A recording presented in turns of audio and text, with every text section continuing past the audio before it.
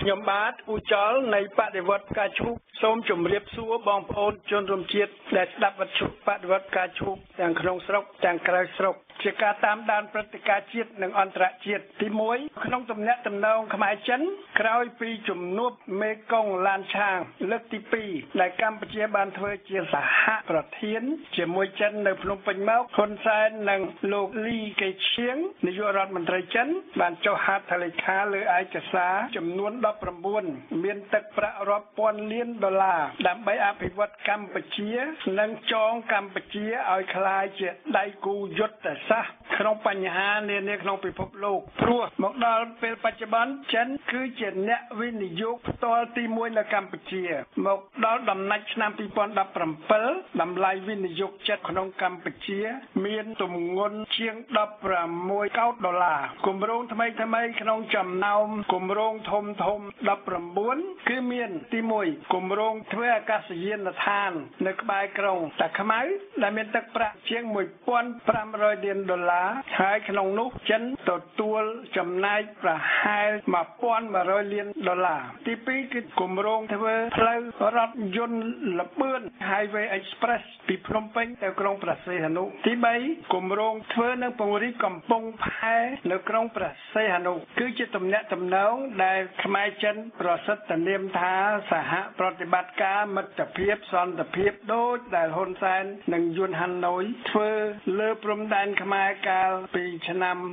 1979មកដល់បច្ចុប្បន្នជាមិត្តភាពសន្តិភាពសហប្រតិបត្តិការដូច្នោះដែរនិងក្នុងវិស័យជាច្រើនទៀត ដូចជាកសិកម្មឧស្សាហកម្មទេសចរអភិវឌ្ឍសង្គមបច្ចេកទេសអ្នកវិភាគជាច្រើនមានយោបល់ថាទំនាក់ទំនងចិនខ្មែរផ្ដល់ភាពអវិជ្ជមានច្រើនព្រោះជាវិនិយោគដែលបំផ្លាញបរិស្ថានជាវិរិយអកិសនីបំផ្លាញមច្ឆជាតិព្រៃឈើបំផ្លាញរ៉ែប៉ះពាល់ដល់ជីវភាពជនជាតិសហគមន៍ហើយវិនិយោគចិនដែលកើតមាននៅកម្ពុជាពុំបានបង្កើតការងារសម្រាប់ប្រជាជាតិខ្មែរទេគឺជាវិនិយោគបង្កើតការងារឲ្យប្រជាជាតិចិនមករស់នៅ កម្ពុជាយូរដូចជានៅកំពង់សោមបង្កើតទំនាស់សង្គមពេលដែលប្រជាជាតិខ្មែរបាត់ដីបាត់ផ្ទះសម្បែងមុខរបរជំពាក់លុយធនាគារព្រោះធ្វើស្រែចម្ការពុំបានផលឬគ្មានទីផ្សារលក់ផលិតផលចេញនាំគ្នាធ្វើចំណាក់ស្រុកទាំងស្របច្បាប់ទាំងខុសច្បាប់ព្រាត់ប្រាសគ្រួសារកូនចៅប្តីប្រ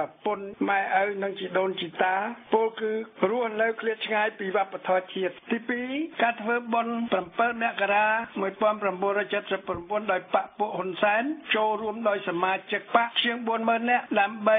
រំលឹកគុណយួនឬពង្រឹងអាណានិគមវៀតណាមនៅលើកម្ពុជាហ៊ុនម៉ាណែតជាកូនហ៊ុនសែនដែលជ្រុះមិនឆ្ងាយពីឪជាស្លឹកឈើជ្រុះមិនឆ្ងាយពីគល់និងជាមេបញ្ជាការរងនៃកងយោធពលខេមរៈភូមិន្ទទី1បានរៀបចំធ្វើពិព័រណ៍បរិខាយោធាមានរដ្ឋក្រោះរដ្ឋធម្មភេកចៈកំភ្លើងអបលៈទី2ធ្វើការប្រកួតកីឡាជាកងយោធពលខេមរៈភូមិន្ទជាមួយកីឡាករស៊ីវិលហាក់ធ្វើក្នុងគោលដៅបំភ័យប្រជាពលរដ្ឋខ្មែរដែលមិនដឹងគុណយួន ក្នុងពេលជាមួយគ្នានេះប្រជាជាតិខ្មែរគ្មានសិទ្ធិប្រជុំគ្នាធ្វើសកម្មភាពជាបាតកម្មសម្ដែងមតិដោះស្រាយបញ្ហាសង្គមក្នុងឋានៈជាសមាគមអង្គការសង្គមស៊ីវិលឬបកនយោបាយអ្វីឡើយព្រោះអាខ្វាក់វាយកច្បាប់ប្រឆាំងអង្គការសមាគមច្បាប់កម្រិតសិទ្ធិសេរីភាពលើសារព័ត៌មានហើយវាបានរំលាយបកសង្គ្រោះចោលច្បាមយកអាសនៈបកប្រឆាំងទៅចែកឲ្យបកត្រពងវាហ៊ុនសែននិងហ៊ុនម៉ាណែតរំលឹកពីការដែលកងទ័ពខេមរៈភូមិន្ទនឹងបង្ក្រាបរំលាយបកប្រឆាំងឬបដិវត្តពណ៌ឬបដិវត្តការជុកតាមពិតប្រជាជាតិបាននាំគ្នាងើបប្រឆាំងដោយអហិង្សាជាមនុស្សជាតិតែវានឹងបង្ក្រាបបដិវត្តការឈូកពុំបានទេព្រោះបដិវត្តការឈូកគឺជាសកម្មភាពនៃប្រជាជាតិជាមនុស្សជាតិដែលទាមទារឯករាជ្យឲ្យប្រទេស ជជាមាតុភូមិរបស់គេនិងទាមទារសិទ្ធិសេរីភាពគ្រប់បែបយ៉ាងជាមនុស្សដើម្បីឲ្យប្រជាជាតិខ្មែររស់បាននៅក្នុងប្រទេសកម្ពុជានីតិរដ្ឋជនផ្ដាច់ការប្រើអាវុធយុទ្ធភ័ណ្ឌក៏ពុំអាចឈ្នះបដិវត្តការឈូសបានដែរនៅថ្ងៃអាទិត្យទី13មករានៅប្រទេសអូស្ត្រាលី ក្រុងមែលប៊នក្នុងរដ្ឋវីកតូរីយ៉ាប្រជាជាតិខ្មែរនាំគ្នាធ្វើបាតកម្មប្រឆាំងវត្តមានហ៊ុនម៉ាណែតដែលមករៀបចំធ្វើពិធីអបអរសាទរ7មករា1979គេនាំគ្នាប្រឆាំងថា7មករា1979នេះគឺជាការឈ្លានពានរបស់យួនហាណូយមកលើកម្ពុជា និងប្រឆាំងឧត្តមសេនីយ៍អាចហ៊ុនម៉ាណែតដែលធ្វើតាមគន្លងអំពើផ្ដាច់ការរបស់ឪបំផ្លាញសម្លាប់លទ្ធិប្រជាធិបតេយ្យនៅកម្ពុជាតាមពិតអ្វីៗក្នុងពិភពលោកគឺជាការទាមទាររកសិទ្ធិសេរីភាពនៃប្រជាជាតិខ្មែរដែលបដិវត្តការឈូកគ្រប់គ្រងហើយអំពាវនាវឲ្យប្រជាជាតិខ្មែរគ្រប់ទិសទីនាំគ្នាងើបទាមទារសិទ្ធិទាំងនេះដូចជាទាមទារការបោះឆ្នោតដោយសេរី ហើយនឹងទាមទារឯករាជ្យភាពអធិបតេយ្យភាពពីយួនហាណូយដើម្បីប្រជាជាតិខ្មែរអាចរៀបចំកម្ពុជាជានីតិរដ្ឋប្រគល់សិទ្ធិសេរីភាពលទ្ធិប្រជាធិបតេយ្យឲ្យប្រជាជាតិខ្មែរជាមុនឧទាហរណ៍បដិវត្តការជួបគ្រប់គ្រង បកសង្គ្រោះចោលដើម្បីធ្វើការបដូរផ្លាស់ថ្នាក់ដឹកនាំនយោបាយដោយសន្តិវិធីគ្រប់គ្រងសមាគមបឹងកក់បរិយាកៃឡាដែលទាមទាររកយុត្តិធម៌ប្រឆាំងអាខ្វាក់ហ៊ុនសែនតាមបាតកម្មដែលច្បាមយកទឹកដីដេញពួកគេពីផ្ទះសម្បែងគ្រប់គ្រងលោកប៉ាងហ៊ុនទៀងដែលទាមទារឲ្យមានថ្ងៃច័ន្ទពណ៌ខ្មៅថ្ងៃអាទិត្យពណ៌ស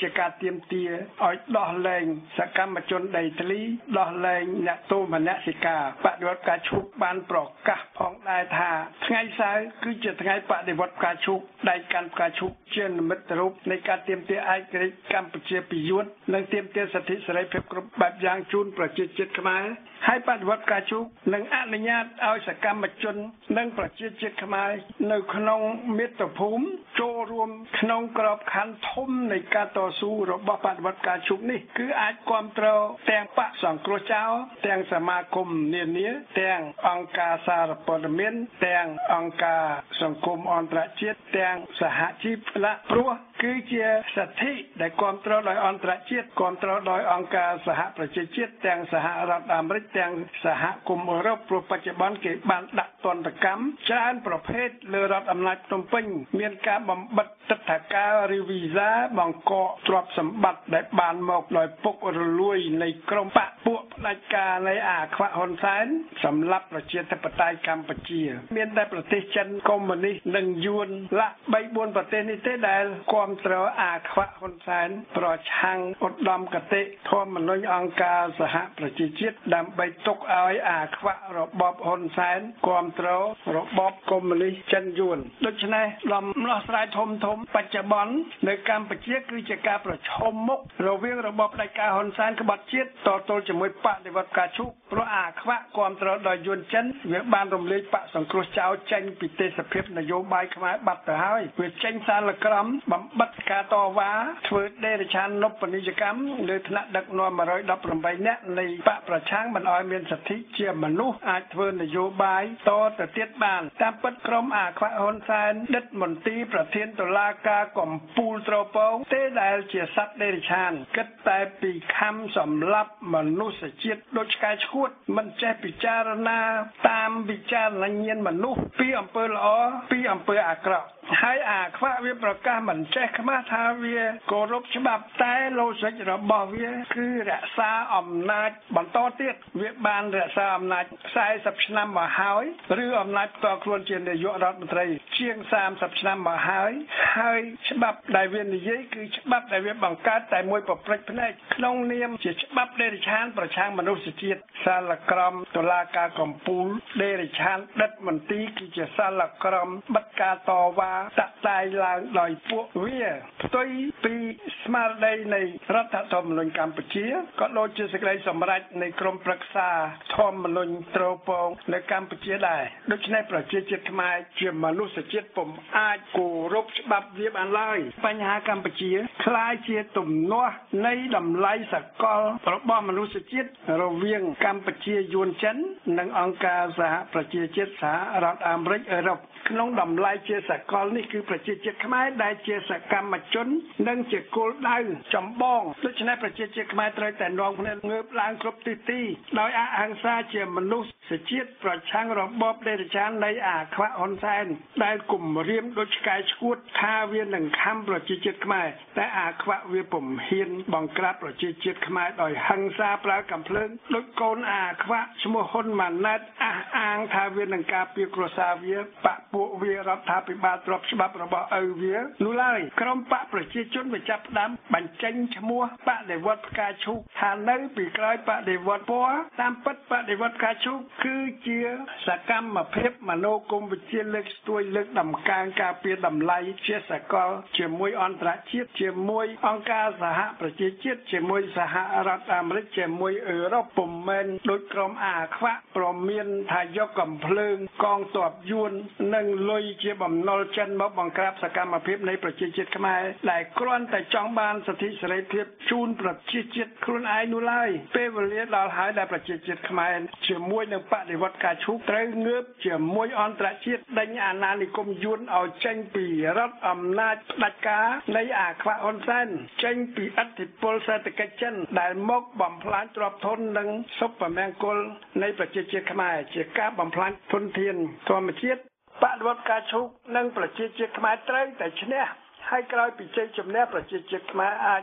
រួមគ្នានាំគ្នាបោះឆ្នោតរើសថ្នាក់ដឹកនាំក្នុងបកនយោបាយណាមួយដែលគោរពតម្លៃសកលនៃមនុស្សជាតិទទួលស្គាល់ដោយអន្តរជាតិដើម្បីដឹកនាំកម្ពុជាទោះជាក្រមសំរងស៊ីកែមសខាជាបកសង្គ្រោះចៅឬបកនយោបាយដទៃទៀតក៏ដោយដូច្នេះសម្រាប់ប្រជាជាតិខ្មែរនិងបដិវត្តការជុកអង្គការសហប្រជាជាតិគឺជាស្ថាប័នអន្តរជាតិកំពូលសម្រាប់គ្រប់គ្រងសិទ្ធិសេរីភាពនានានិងប្រជាជាតិនីមួយៗប្រជាជាតិខ្មែរត្រូវរួបរวมជាមួយអង្គការសហប្រជាជាតិសហរដ្ឋអាមេរិកអឺរ៉ុបទោះក្នុងករណីណាក៏ដោយថ្ងៃ12មករា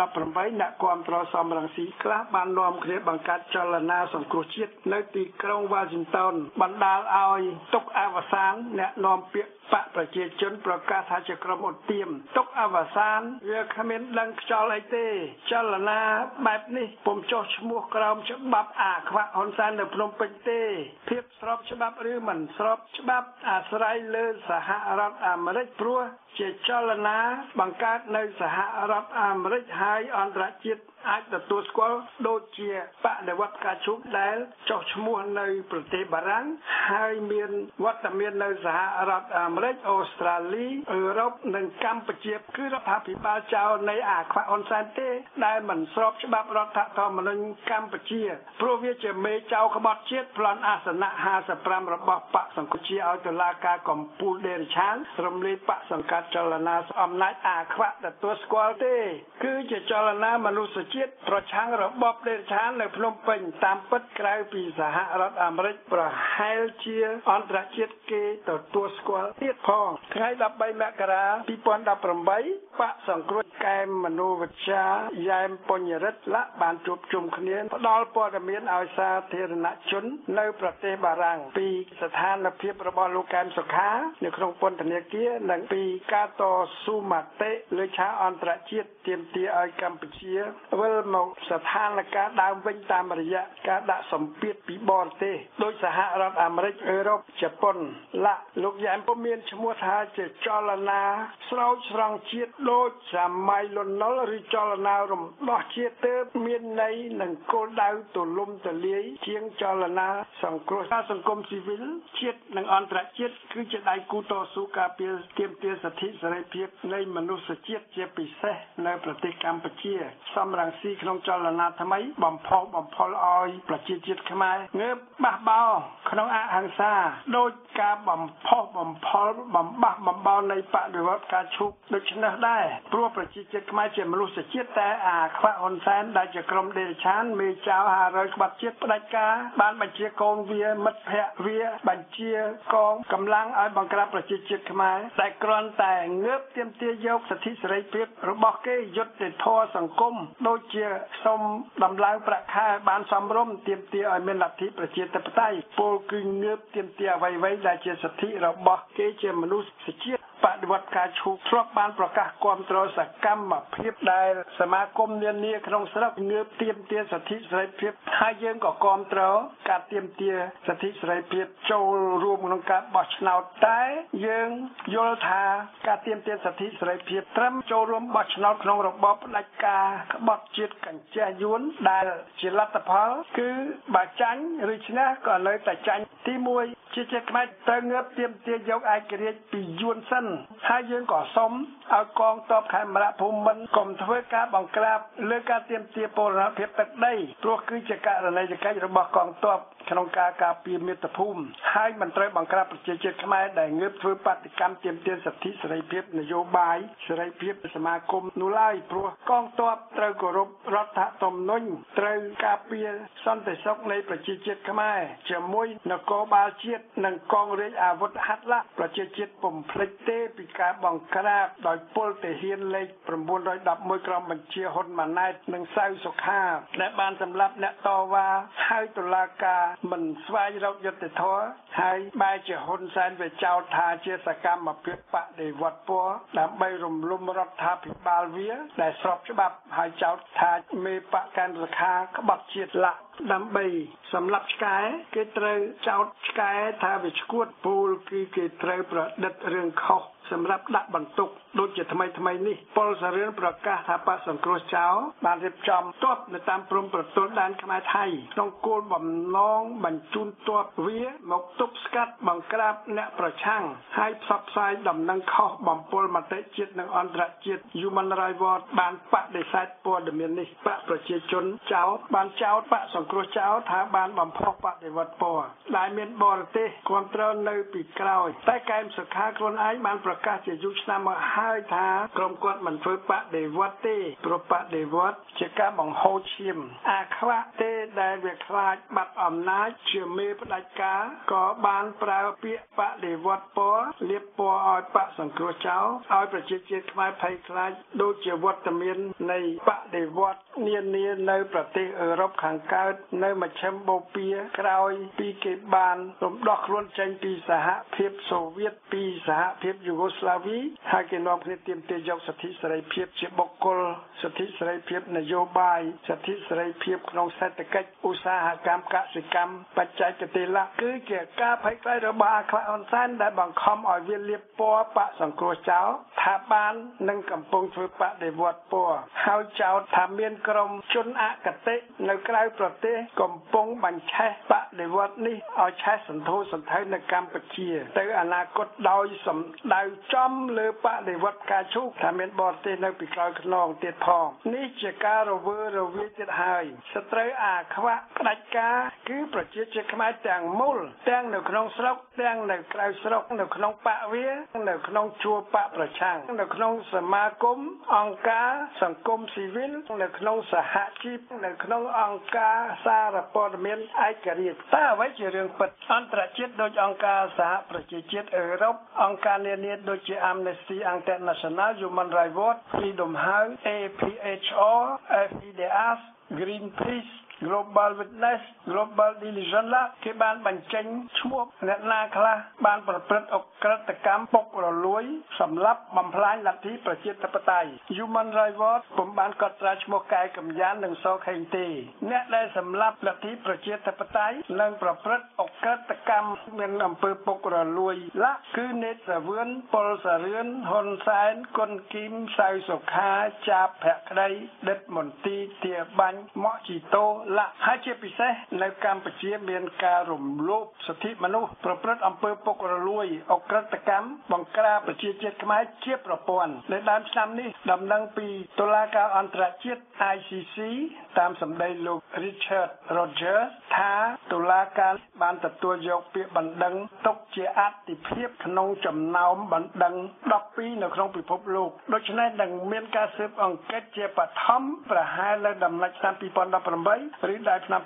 2019អាស្រ័យលើការវិវត្តអន្តរជាតិនិងលើលទ្ធភាពជាថវិកានៃតុលាការព្រមទណ្ឌនេះដែលមានប្រទេសជាហត្ថលេខីលើលក្ខន្តិកៈក្រុងរ៉ូមចំនួន123មកហើយជារួមនៅកម្ពុជាបាតុភូតជាមហាភយន្តរាយចាស់កំពុងកើតមានឡើងវិញម្ដងហើយម្ដងទៀតទី1កង់ប្រវត្តិសាស្ត្រខ្មែរកំពុងវិលមកជន់ដានចាស់វិញព្រោះប្រជាជាតិខ្មែរមិនខំរៀនសូត្រឲ្យយល់ដឹងព្រឹត្តិការណ៍ចាស់ក្នុងប្រវត្តិសាស្ត្រ ដើម្បីជៀសវាងកុំឲ្យបញ្ហាចាស់ទាំងអស់នេះកើតទៀតបាននៅកម្ពុជា ទី2គឺជាបាតុភូតដែលនាំឲ្យមានការប្រឈមមុខជាតម្លៃនៅក្នុងសង្គមខ្មែរជាសិទ្ធិសេរីភាពហើយរបបផ្ដាច់ការប្រើអំពើប្រៃផ្សាយជិះជាន់មកលើប្រជាជាតិខ្មែរទី3ការប្រឈមមុខជាពំរួចនឹងកើតមានរវាងប្រជាជាតិខ្មែរនិងថ្នាក់ដឹកនាំខ្មែរបាទតាមច្បាប់ធម្មជាតិគឺអំណាចនៃប្រជាជាតិខ្មែរ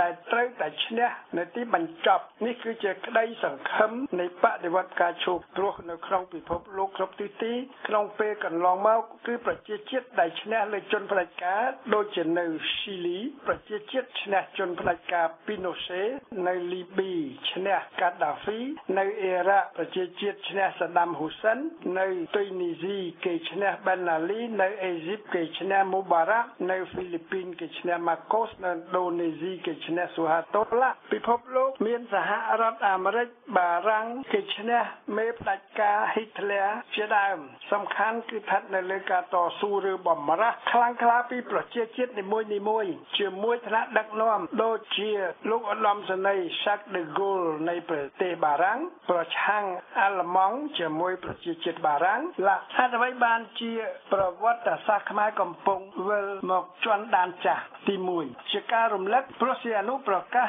ថាកម្ពុជាជាប្រទេសអព្យាក្រឹតតែគាត់ចូលកុម្មុយនីសចិនប្រឆាំងសហរដ្ឋអាមេរិកនិងលោកសេរី ទី2បច្ចុប្បន្នហ៊ុនសែនកញ្ចាស់យួនរណបចិនបែរជាប្រឆាំងសហរដ្ឋអាមេរិកនិងលោកសេរី ដែលអង្គការសហប្រជាជាតិអឺរ៉ុបធ្វើជាសមាជិកជាមួយផងដែរទី3ក្នុងចរន្តនេះប្រជាជាតិខ្មែរគេចង់ទទួលបានសិទ្ធិសេរីភាពនិងលទ្ធិប្រជាធិបតេយ្យចង់ឲ្យកម្ពុជាទទួលឯករាជ្យលទ្ធផលគឺមានរបបខ្មែរក្រហមប៉ុលពតសម្រាប់ខ្មែរជាង3លាននាក់តើលើកនេះនឹងមានមហន្តរាយបែបនេះឬទេវាអាស្រ័យលើឆន្ទៈនៃប្រជាជាតិខ្មែរនិងសុឆន្ទៈនៃអន្តរជាតិជាលោកសេរីតែបដិវត្តការឈប់ឬបកសង្គ្រោះចោលឬចលនាសង្គ្រោះចោលគេពុំគ្រប់គ្រងឲ្យមានការរើបំរាស់ហិង្សាទេតែជាទូទៅដើម្បីរើបំរាស់ទាមទារឯករាជ្យប្រទេសណាក៏ជៀសអំពើហិង្សាមិនរួចដែរដូចជានៅទីម៉ូខាងកើតដូចជានៅប្រទេស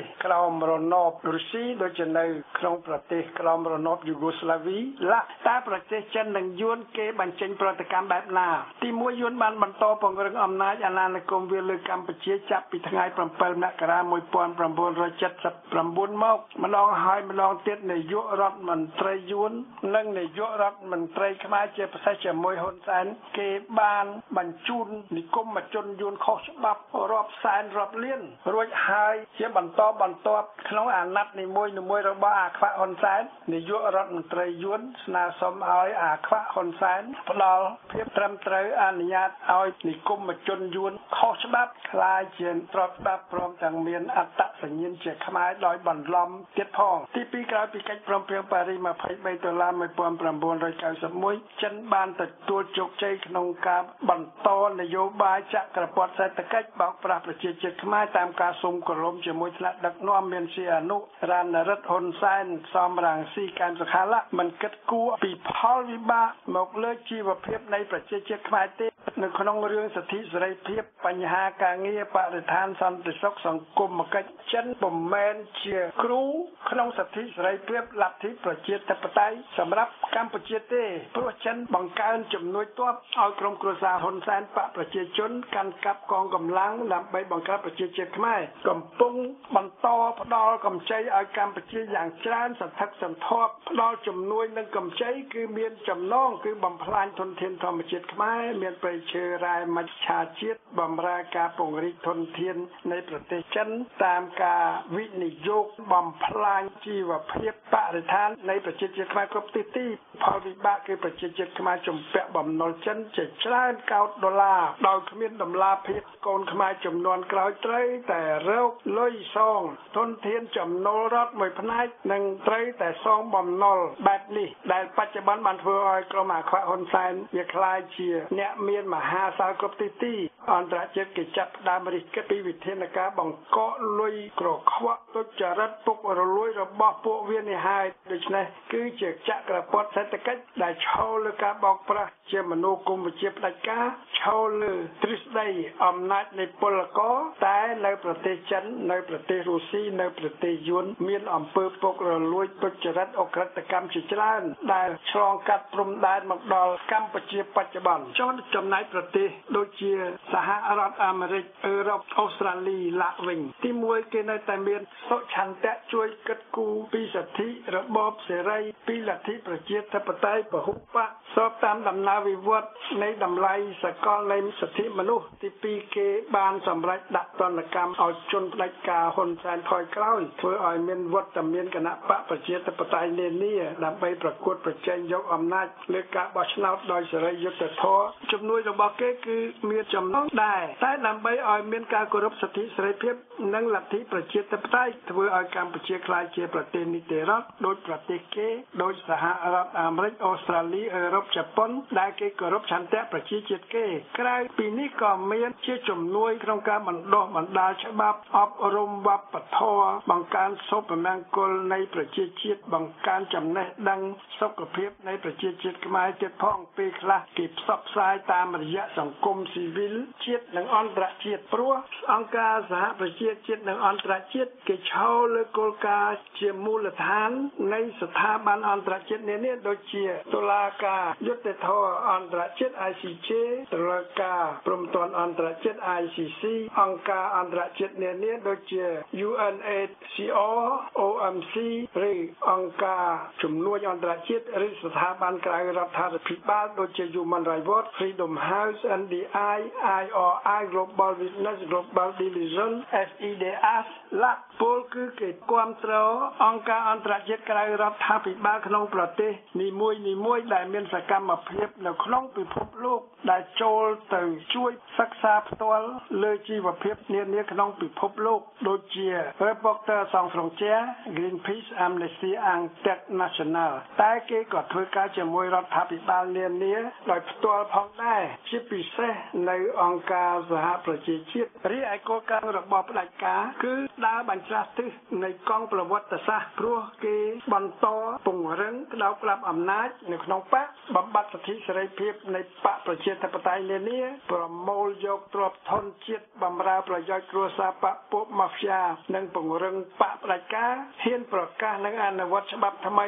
ដើម្បីជិះជាន់កាប់សម្លាប់ព្រោះគេក្តោបក្តាប់អំណាចទាំង3តុលាការរដ្ឋាភិបាលសភាហើយនិងកងកម្លាំងនានាទី3ការចាប់ចងដាក់គុកដោយកំរោលឬស្របតាមច្បាប់ព្រៃរបស់វាគឺធ្វើខុសពីស្មារតីនៃរដ្ឋធម្មនុញ្ញឬតាមប្រព័ន្ធគ្រប់គ្រងសភាដែលវាកែប្រែហើយកែប្រែទៀតម្ដងហើយម្ដងទៀតរហូតសភាទាំងអស់ពុំមែនជាសភាតំណាងប្រជាជាតិតែជាសភាចៅត្រពងមេចៅតុលាការកងទ័ពអាយ៉ងដែលគ្រប់ទិសទីគឺជាកូនចៅជាបាក់ពួកជាគ្រួសារជាម៉ាហ្វ្យាជាជនបរទេសចិនយួនដែលមានតំណែងតំណងជាមួយវា កាន់កាប់ធ្វើការនៅក្នុងទីស្តីការរដ្ឋមន្ត្រីក្នុងកងទ័ពនៅកម្ពុជា ជាពិសេសវាប្រើកម្លាំងចារកម្មសម្រាប់អ្នកស្នេហាជាតិក្រៅប្រព័ន្ធតុលាការនៅកម្ពុជាឃាតកម្មដែលមានលក្ខណៈនយោបាយរីតតងគ្រួសារបកប្រជាជនតកតងយួនអាណានិគមពុំដែលបានត្រូវរកឃើញផ្ដាល់យុត្តិធម៌ទេដូចជាការកាប់សម្លាប់លោកជាវិជាឈុតធីអ្នកស្រីពិសិដ្ឋពនិកាកែមលីឬអ្នកធ្វើបាតកម្មនៅមុខរដ្ឋសភាឆ្នាំ1997 98អ្នកស្លាប់នៅលើវិថីវិញស្រេងនៅក្បែរស្ពានតាខ្មៅអ្នកកាសែតដែលត្រូវគេសម្លាប់ការរំលាយបកប្រឆាំងដកយកអាសនៈ55និងអាសនៈក្រុមប្រឹក្សាឃុំសង្កាត់ខេត្តក្រុងលាក់ជាង5000ទៅប្រគល់ឲ្យបកត្រពងនិងបកមេចៅ500ទៅវិញវាកំពុងបន្តកែប្រែរដ្ឋធម្មនុញ្ញដើម្បីអាចកាត់ស្មៅតាទាំងរឹសគឺហាម5ដាក់ជាទោសទណ្ឌទៅលើខ្មែរក្នុងស្រុកក្រៅស្រុកដែលធ្វើសកម្មភាពប្រឆាំងពួកវាហើយប្រកាសដាក់ទោសអ្នកប្រឆាំងរាជានិយមប្រឆាំងរដ្ឋធម្មនុញ្ញជារួមផ្លូវតែមួយដែលប្រជាជាតិខ្មែរត្រូវធ្វើគឺងើបទាំងអស់គ្នាធ្វើបដិវត្តការជោគឲ្យបានជោគជ័យតាមគ្រប់មធ្យោបាយជាមួយអន្តរជាតិក្នុងអហិង្សាជាដំបូងតែត្រូវការពារតទល់តបតវិញបើក្រុមចៅផ្ដាច់ការក្បត់ជាតិប្រើអាវុធបង្ក្រាបសម្លាប់ប្រជាជាតិជាមនុស្ស គឺការងើបដោយអហិង្សាដែលអាចទទួលជ័យជំនះនៅចំពោះមុខក្រុមផ្ដាច់ការដែលវាប្រងតែវាយបង្ក្រាបសម្លាប់ប្រជាជាតិឯងមហាភយន្តរាយនៅកម្ពុជា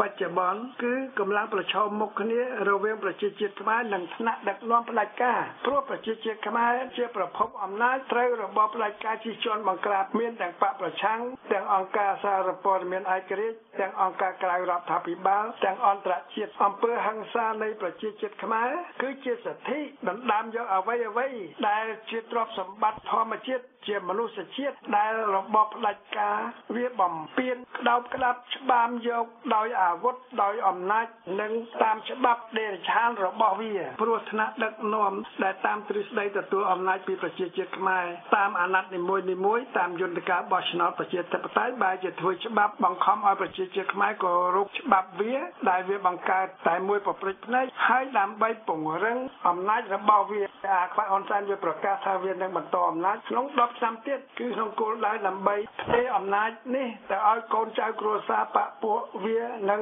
របបផ្ដាច់ការអាណានិគមយួនចិត្តដូច្នេះកម្ពុជាគឺមានឋានៈដឹកនាំកុម្មុយនីសដែលប្លន់អំណាចហើយប្រជាជាតិខ្មែរទាំងមូលដែលរងគ្រោះរស់ក្រោមអំណាចផ្ដាច់ការទង្វើអហិង្សាប្រហែលពុំគ្រប់គ្រាន់ទេដើម្បីដណ្ដើមយកឯករាជ្យកម្ពុជា ពីយួនហាណូយនិងដណ្ដើមយកសិទ្ធិសេរីភាពប្រជាជាតិខ្មែរពីក្រមអាក្បត់ហ៊ុនសែនអ្វីជាគោលការណ៍និងសកម្មភាពនៃចលនាបដិវត្តការឈូកដោយកម្ពុជា មានកម្លាំងប្រឈមគ្នាគឺប្រជាជាតិខ្មែរតទល់ជាមួយអំណាចផ្ដាច់ការក្បត់ជាតិមេចៅដូច្នេះមនោគមវិជ្ជានៃបដិវត្តការឈូកគឺរំដោះកម្ពុជានិងរំដោះប្រជាជាតិខ្មែរដោយឈរជាមួយប្រជាជាតិខ្មែរធ្វើជាមួយប្រជាជាតិខ្មែរគ្រប់ទីទីដើម្បីបំរើប្រជាជាតិខ្មែរបដិវត្តការឈូករក្សាគោលដៅនេះបានខ្ជាប់ខ្ជួនហើយខំពន្យល់ឲ្យប្រជាជាតិខ្មែរយល់ហើយធ្វើតាមដូចជាមិនត្រូវចូលរួមបោះឆ្នោតក្នុងក្របខ័ណ្ឌរបបអាខ្វាក់ហ៊ុនសែនសពថ្ងៃដែលជាកញ្ចក់យួនចិននោះទេព្រោះប្រជាជាតិខ្មែរពុំអាចរំដោះមាតុភូមិបានទេទោះជាចាញ់ដូច្នេះក៏បកប្រឆាំងសង្គ្រោះចៅខ្លាចជាបកចាញ់ដដែល បច្ចុប្បន្នបកសង្គ្រោះចៅដែលមិនស្ដាប់យោបល់របស់បដិវត្តការឈូកត្រូវបានអាខ្វាក់ហ៊ុនសែនវាដេញខ្ចាត់ខ្ចាយរំលាយបកមិនឲ្យមានវត្តមាននៅក្នុងប្រទេសកម្ពុជា ហើយច្បាមយកអាសនៈនិងកៅអីក្រុមប្រឹក្សាខេត្តឃុំសង្កាត់រាជធានីស្រុកលាក់ជាង5000ទៅឲ្យបកត្រពងវា ហើយសប្តាហ៍អាខ្វាក់ហ៊ុនសែនវាលក់ខ្លួនឲ្យយួនឲ្យចិនដាច់ថ្លៃហ៊ានប្រកាសមើលងាយអង្គការសហប្រជាជាតិនិងលោកសេរីទៀតផងបដិវត្តការឈប់បានរិះគន់បកសង្គ្រោះចោលខ្លាំងខ្លាំងពីយុទ្ធវិធីចាញ់ចាញ់ដោយមកមេចូលភ្លើងធ្វើឲ្យខាតពេលកម្ពុជា ចំណេញពេលឲ្យយួនហាណូយពង្រឹងអាណានិគមមកលើកម្ពុជាតែបកសង្គ្រោះជាតិនឹងដើរតាមដានចាស់ម្ដងទៀតតាមយុទ្ធវិធី បង្កើតចលនាសង្គ្រោះចោលដើម្បីទៀមទាត្រឹមតែឲ្យមានលទ្ធិប្រជាធិបតេយ្យនៅក្នុងរបបអាណានិគមយួន les mêmes causes produisent les mêmes effets ពលគឺបបហេតុដដែលដដែលនិងផលិតបានផលដដែលដដែលតើក្រមសំរងស៊ីកែមសុខាបានយល់ការរិះគន់នៃបដិវត្តការឈុកខ្លះឬទេដូច្នេះមូលដ្ឋានគ្រឹះនៃបដិវត្តការឈុកគឺសិទ្ធិសេរីភាពនៃប្រជាជាតិខ្មែររបបនីតិរដ្ឋគោរពធម្មនុញ្ញអង្គការសហប្រជាជាតិគោរពរដ្ឋធម្មនុញ្ញខ្មែរដែលត្រូវតែជ្រើសរើសដោយប្រជាជាតិខ្មែរតាមការបោះប្រជាជាមតិស្របតាមសេចក្តីថ្លែងការណ៍ជាសកលនៃសិទ្ធិមនុស្សគោរពអង្គការអន្តរជាតិក្រៅរដ្ឋាភិបាលនានាឈរលើសាមគ្គីនៃប្រជាជាតិខ្មែរដ៏ទូលំទូលាយទាំងក្នុងស្រុកទាំងក្រៅស្រុកដើម្បីប្រសិទ្ធភាពជៀសវាងកុំឲ្យខាតពេលបន្ថែមក្រោយពីខាតពេលចិត្តកន្លះសតវត្សមកនេះប្រជាជាតិខ្មែរត្រូវនាំគ្នាកំណត់គោលដៅរួមឲ្យបានជាមុនសិនទើបនាំគ្នាធ្វើសកម្មភាពរួមជាខាងក្រោយឆ្ពោះទៅរកគោលដៅរួមនេះដូចជា ទី1ត្រូវនាំគ្នារំដោះកម្ពុជាពីយួនឲ្យបានជាមុនសិនព្រោះរាល់ពេលដែលហ៊ុនសែននិងថ្នាក់ដឹកនាំយួនកម្ពុជាកម្ពុជាមកធ្វើទស្សនកិច្ចនៅកម្ពុជាអាខ្វាក់វាទទួលយកសំណើដើម្បីសម្រួលជីវភាពនិគមជនយួននៅស្រុកខ្មែររហូត សប្តាហ៍មាននិគមជនយួនរាប់លានអ្នក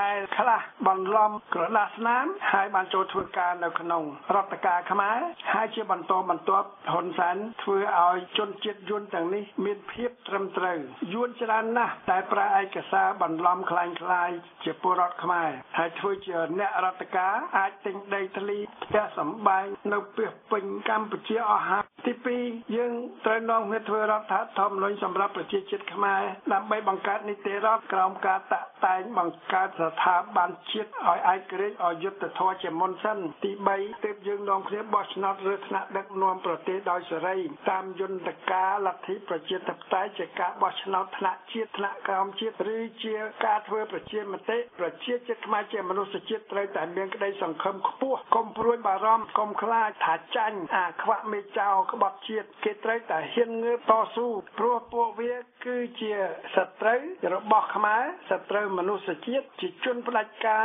រស់ក្រោមអាណានិគមយួននិងលក់ខ្លួនឲ្យចក្រពត្តិសេដ្ឋកិច្ចចិនដើម្បីសម្លាប់ប្រជាជាតិខ្មែរខ្លួនឯងនៅក្នុងចរន្តដែលកង់ប្រវត្តិសាស្ត្រវិលទៅមុខនៅក្នុងពិភពលោកគឺរបបផ្ដាច់ការដែលត្រូវតែរលំរលាយអាខ្វាក់វាអួតថាខែមករាគឺជាខែយីអូនរបស់វាជាខែដែលយួនចូលមកឈ្លានពានកម្ពុជា ជាខែដែលវាបានក្លាយជារដ្ឋមន្ត្រីការបរទេសក្មេងជាងគេ ជាខែដែលវាបានធ្វើជានាយករដ្ឋមន្ត្រី បន្តបន្តដោយយួនបន្តដោយរដ្ឋប្រហារដោយការបន្លំឆ្នោតហើយនឹងដោយការក្រាញក្នុងអំណាចដោយកែប្រែច្បាប់ខុសពីរដ្ឋធម្មនុញ្ញពលគឺវាក្តោបប្រាប់អំណាចដោយកម្លាំងតែការថិតថេរយូរនៅក្នុងអំណាចដោយកម្លាំងអក្រិតកម្មបែបនេះគឺវានឹងស្លាប់តៃហោងបែបប្រៃផ្សៃដោយជនផ្ដាច់ការដែលស្លាប់តៃហោងដតៃដតៃទៀតជៀសពំរួចរបបកុម្មុយនីរលាយព្រោះជារបបដែលមានយុទ្ធវិធីដេរឆានបង្ក្រាបសិទ្ធិសេរីភាពប្រជាជាតិមិនឲ្យមានសេរីភាពឬបំរាស់ឧទាហរណ៍គឺប្រជាជាតិក្រោមរបបកុម្មុយនីរុស្ស៊ីក្រោមរបបកុម្មុយនីយូហ្គោស្លាវីដែលគេរើបំរាស់ហើយគេសម្លាប់មេដឹកនាំខ្លះក្នុងរបៀបប្រៃផ្សាយវិញដូចជាសម្លាប់ប្រធាននាយកប្រៃសូស៊ីស្គីនៅរូម៉ានីរបបប្រជាធិបតេយ្យនឹងត្រូវតែឈ្នះ ព្រោះជាឆន្ទៈនៃប្រជាជាតិនីមួយនីមួយសិទ្ធិសេរីភាពនៃមនុស្សជាតិត្រូវតែកើតមានជាដាច់ខាតសម្រាប់ប្រជាជាតិនានាគឺនឹងកើតមានដើម្បីប្រជាជាតិខ្មែរផងដែរដូច្នេះបុគ្គលជាខ្មែរម្នាក់ម្នាក់ត្រូវតែចូលរួមជួយរុញកង់ប្រវត្តិសាស្ត្រប្រជាជាតិយើងឲ្យទៅមុខតាមសមត្ថភាពរៀងរៀងខ្លួនជាបុគ្គលជាក្រុមជាបកជាស្ថាប័នលក្ខនេះហើយជាវិភាគទានជួយកសាងប្រវត្តិសាស្ត្ររួមនៃកម្ពុជា និងប្រជាជាតិខ្មែរបដិវត្តការជុកប្រកាសគ្រប់គ្រងការងើបបះបោរនៃប្រជាជាតិខ្មែរក្នុងការទាមទារសិទ្ធិសេរីភាពធ្វើនយោបាយនៃចលនាសង្គ្រោះចោលក៏ដូចជាការទាមទារសិទ្ធិសេរីភាពថ្ងៃច័ន្ទពណ៌ខ្មៅថ្ងៃអាទិត្យពណ៌សលាក់ហើយដែលបដិវត្តការជុកបានបន្ថែមថាថ្ងៃសៅរ៍ត្រូវនាំគ្នាធ្វើបដិវត្តការជុកដៃកាន់ផ្កាឈូក ដើម្បីរំដោះកម្ពុជាពីយួនអាណានិគមនិងបំរើប្រជាជាតិខ្មែរទាំងមូលក្នុងឱកាសនេះហើយដែលប្រជាជាតិខ្មែរត្រូវរួមគ្នាជាមួយពិភពលោកគ្រប់គ្រងដោយស្ថាប័នអន្តរជាតិដូចជាអង្គការសហប្រជាជាតិ ICJ ICC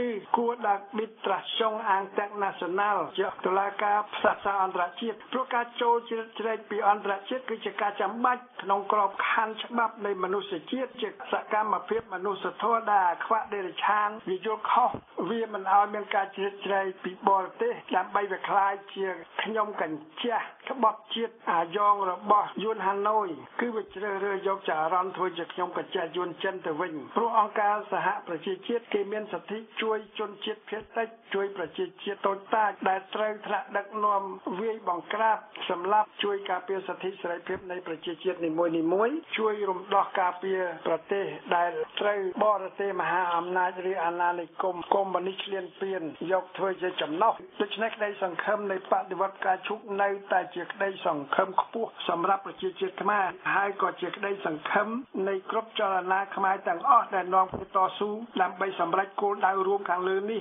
ដូច្នេះប្រជាជាតិខ្មែរត្រូវនាំគ្នាងើបតស៊ូទាំងអស់គ្នាប្រឆាំងរបបផ្ដាច់ការអាខ្វាក់ហ៊ុនសែន ក្រុមគ្រួសារវាជាបកមុខម៉ាហ្វ្យាប្រឆាំងអាណានិគមនិងចក្រពត្តិសេដ្ឋកិច្ចចិនតាមគ្រប់មធ្យោបាយព្រោះការរំដោះមាតុភូមិកន្លងមកនេះនៅក្នុងលោកគឺគេធ្វើតាមហិង្សាតែគេត្រូវសាកល្បងយុទ្ធវិធីអហិង្សាជាដំបូងសិនព្រោះជាសកម្មភាពសមរម្យជាមនុស្សជាតិជាវាងកំឲ្យមានការស្លាប់ប្រជាជាតិស្លូតត្រង់រាប់លានអ្នកដូចក្នុងសង្គ្រាមលោកលើកទី1សង្គ្រាមលោកលើកទី2ក្នុងសង្គ្រាមប្រជាដែលប្លុកសេរីតទល់ជាមួយប្លុកកុម្មុយនីសព្រោះជាយុទ្ធវិធីស្របច្បាប់ជាតិនិងអន្តរជាតិពលគឺដើម្បីរំដោះមាតុភូមិកម្ពុជា និងរំដោះប្រជាជាតិខ្មែរខ្លួនឯងដែលធ្លាប់រងគ្រោះស្លាប់រាប់លានច្រើនលើកច្រើនសារមកហើយហ៊ុនសែននឹងទុកអវសានទេដែលខុសច្បាប់ក្បត់ជាតិហ៊ានរំលាយបកសង្គ្រោះចោលច្បាមយកអាសនៈឃុំសង្កាត់ក្រុងខេត្តរាជធានីស្រុក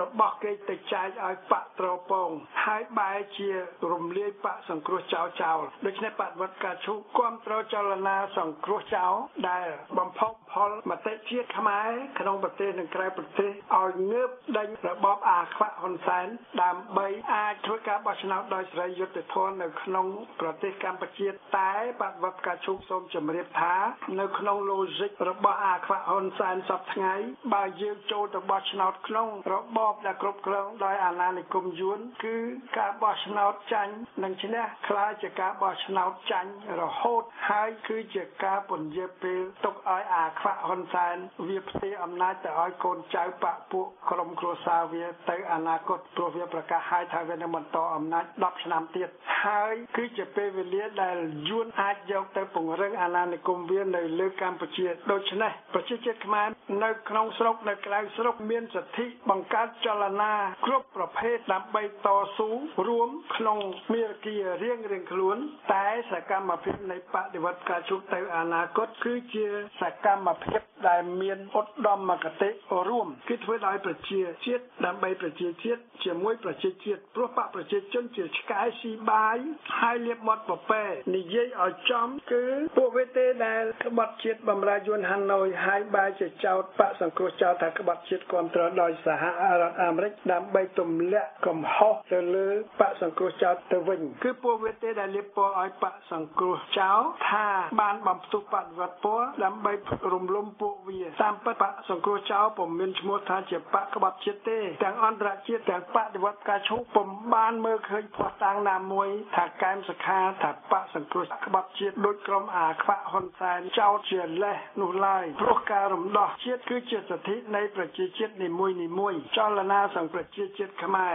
នាំគ្នាងើបឬបំរាស់ប្រឆាំងដោយបដិវត្តការឈូគឺជាការអំពាវនាវយឺតពេលបន្តិចតែយឺតពេលក៏ដោយជាជាងមិនបានធ្វើទាល់តែសោះមញើវោតាគឺសាម៉ែព្រោះបើបានជាបាបជាមួយបដិវត្តការឈូទៅហើយព្រោះអាខ្វាក់ហ៊ុនសែនវាចោទថាគឺបកសង្គ្រោះចោលបំផុសបំផុលបដិវត្តពណ៌ដែលមានបដិវត្តការឈូនៅពីក្រោយដូច្នេះបើបានជាបាបយ៉ាងហោចណាស់ក៏ត្រូវឲ្យបានឆ្អាបមាត់ដែរព្រោះបដិវត្តការឈូពុំបានអះអាងថាពេលគេឈ្នះពួកគេនឹងក្តោបក្តាប់អំណាចម្នាក់ឯងដោយក្រុមអាខ្វាក់ហ៊ុនសែននោះទេបកសង្គ្រោះចោលអាចចូលមកកាន់កាប់អំណាចដោយដែលបកសង្គមនិយមរបស់លោកមីតេរ៉ង់បានទទួលអំណាចគ្រប់គ្រងប្រទេសបារាំងក្រោយពីបកលោកសាក់ដេហ្គោលគ្រប់គ្រងប្រទេសបារាំងបានពី3អាណត្តិពេលក្រោយលោកដេហ្គោលនិងលោកមីតេរ៉ង់មានជ័យជំនះជាមួយគ្នាដេញអាណានិគមអាល្លឺម៉ាញដេញសេនាប្រមុខបេតាំងដេញហ៊ីតឡែរជាមួយសហរដ្ឋអាមេរិកបានជ័យជំនះព្រោះបច្ចុប្បន្នបដិវត្តការឈូកកំពុងមានសន្ទុះជាកម្លាំងគំនិតនិងមនោគមវិជ្ជាត្រឹមត្រូវសម្រាប់បម្រើមនុស្សជាតិក្រុមបកសង្គ្រោះចោលកំពុងបាត់បងសារធាតុជាបកនយោបាយអស់ហើយនៅកម្ពុជាក្រោមច្បាប់ដេរឆាននៃអាខ្វាក់ហ៊ុនសែនដែលដាក់ទណ្ឌកម្មពួកគេមិនឲ្យថ្នាក់ដឹកនាំបកជាង100អ្នកធ្វើនយោបាយទៀតផងតើដល់ពេលណាទើបបកសង្គ្រោះចៅចាប់យកគោលដៅរួមគ្នាជាមួយប្រជាជាតិខ្មែរដើម្បីរួមគ្នាជាមួយបដិវត្តការឈូកហើយអាចរួមគ្នាជាមួយប្រជាជាតិខ្មែរលើសពីកន្លះនគរនាំគ្នាធ្វើរដ្ឋាភិបាលស្រោចស្រង់ជាតិដូចជារដ្ឋាភិបាលលោកសេនាប្រមុខលន់ នល់ក្រោមការដឹកនាំនៃក្រមប្រឹក្សាជាតិអន្តរកាលដែលបដិវត្តការឈូកបានព្រៀងប្រមាលមើលព្រឹត្តិការណ៍បែបនេះជិត10ឆ្នាំមកហើយហើយពុំមែនដើម្បីបំរើអំណាចបុគ្គលណាក្រុមណា ក្រៅពីបំរើប្រជាជាតិខ្មែរធ្វើជាមួយប្រជាជាតិខ្មែរនោះទេនេះជាគំនិតដែលបដិវត្តការឈូកបានគូសវាសព្រៀងទុកជាមេរគាជាយូរមកហើយបើសិនជាក្រុមអាខ្វាក់វានៅតែរឹងក្បាលបង្ក្រាបប្រជាជាតិខ្មែរបន្តប្រឆាំងអន្តរជាតិនិងប្រឆាំងអង្គការសហប្រជាជាតិនោះអាខ្វាក់វានឹងមានគ្រោះថ្នាក់ស្លាប់តែហោងដោយជនក្បត់ជាតិក្នុងរបបផ្ដាច់ការនានាក្នុងពិភពលោកតែបដិវត្តការឈូកពុំមានគោលដៅត្រឹមទាមទារចូលរួមបោះឆ្នោតជាមួយបកប្រជាជនកញ្ចេះយួនដែលសំរងស៊ីនិងមេបកសង្គ្រោះចៅបានប្រកាសឲ្យប្រកាសទៀតនោះទេព្រោះការចូលរួមធ្វើជាបកសង្គ្រោះចៅក្នុងរបបប្រជានិយមស៊ីប៉ែគឺជាការជួយជ្រោមជ្រែងអាខ្វាក់ហ៊ុនសែនឲ្យបន្តអំណាចរបស់វាបាន10ឆ្នាំទៀតមុននឹងវាផ្ទេរអំណាចទៅឲ្យកូនចៅវា នៅក្នុងប្រទេសក្រោមអាណានិគមយួនដូច្នេះគោលដៅរបស់បដិវត្តការឈូគឺជាជំរឿសដ៏សមរម្យមួយស្របតាមសិទ្ធិសេរីភាពមនុស្សជាតិស្របតាមបំណងអន្តរជាតិស្របតាមធម្មនុញ្ញអង្គការសហប្រជាជាតិស្របតាមសេចក្តីថ្លែងការណ៍នៃមនុស្សជាតិជាសកលស្របតាមកិច្ចព្រមព្រៀងប៉ារី23ដុល្លារ1991ដែលបកសង្គ្រោះជាតិឬចលនាសង្គ្រោះជាតិអាចចូលរួមបានក្នុងកិត្តិយសព្រោះ il n'y a que des fous qui ne changent pas d'idée គឺមានតែមនុស្សស្គួតទេ ដែលមិនផ្លាស់ប្ដូរគំនិតតើក្រមប្រឹក្សាជាតិអន្តរកាលនិងរដ្ឋាភិបាលបណ្ដោះអាសន្ននឹងអាចកើតមាន ក្នុងភាពជាក់ស្ដែងស្របតាមច្បាប់អន្តរជាតិស្របតាមឆន្ទៈជាមនុស្សជាតិនៃប្រជាជាតិខ្មែរឬទេដើម្បីដេញទម្លាក់របបផ្ដាច់ការមេចៅក្បត់ជាតិអាខ្វាក់ហ៊ុនសែនកញ្ជះអាយ៉ងយួននិងបំរើចក្រពត្តិសេដ្ឋកិច្ចចិនជម្រាបលាបងប្អូនជនរួមជាតិដែលស្ដាប់វិទ្យុបដិវត្តការជូកទាំងក្នុងស្រុកទាំងក្រៅស្រុកសូមអរគុណ